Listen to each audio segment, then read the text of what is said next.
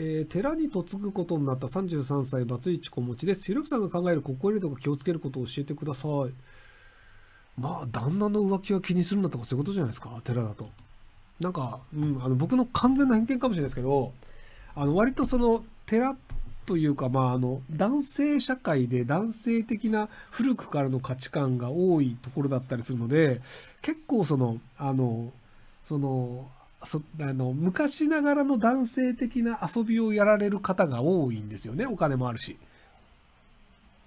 なのでそこであの揉めると面倒くさいのでそこはあの我慢できるぐらいの余裕があった方がうまく続くんじゃないかなと思いますけどもはい。そう、あの、お寺の人ってキャバクラよく行くんですよね。あの、どっから見てもお前坊主だろって分かってるのなんでキャバクラ行くのかわかんないですけど、まあ行くんですよね。